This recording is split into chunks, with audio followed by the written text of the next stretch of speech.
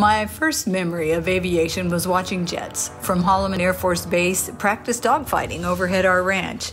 I was captivated.